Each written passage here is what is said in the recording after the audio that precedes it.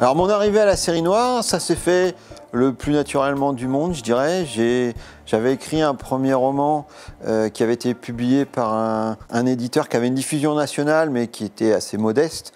Euh, et j'avais un projet de manuscrit. Je savais qu'à l'époque, Aurélien Masson, l'éditeur de la série noire chez Gallimard, euh, cherchait des nouveaux auteurs français. et du coup, je lui ai envoyé un exemplaire du projet de manuscrit que j'avais avec un exemplaire de mon premier roman. Je me suis intéressé au polar rural suite à ce projet donc, de manuscrit qu'on avait eu avec Aurélien à la série Noire, euh, qui était un polar gothique. Ça n'avait pas abouti, on n'était pas satisfaits tous les deux.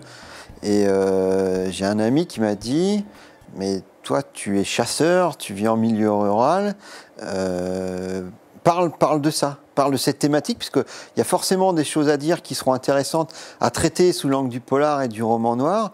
Donc parle de, polar rural, parle de ce que tu connais. Euh, en 2012, quand j'ai écrit La fille de la pluie, n'était pas encore euh, beaucoup traité en France.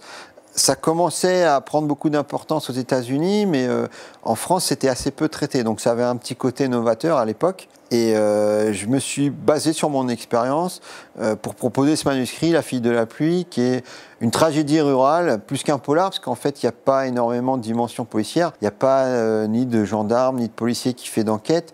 On est dans une tragédie euh, sur des rivalités de famille. C'était aussi un peu ce qui m'a intéressé dans La fille de la pluie.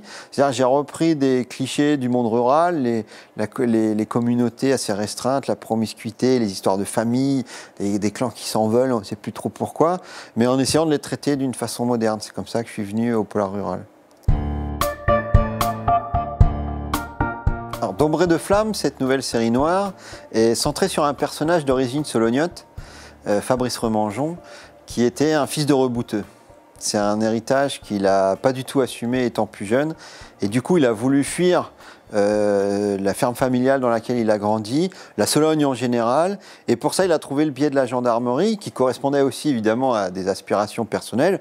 Mais euh, c'était pour lui une forme d'échappatoire. L'enjeu va être à la fois sur sa quête d'identité personnelle, est-ce qu'il va pouvoir assumer l'héritage de son père. Est-ce qu'il va retrouver Elise, son épouse disparue? Euh, Comment va évoluer euh, son, sa relation avec son premier amour, cet ami d'enfance qu'il a retrouvé? Et au final, on peut dire qu'au-delà d'un polar, euh, même d'un polar rural, comme était déjà le précédent La fille de la pluie, d'ombre et de flamme, c'est aussi, de mon point de vue, surtout une histoire d'amour, de magie et de quête de soi.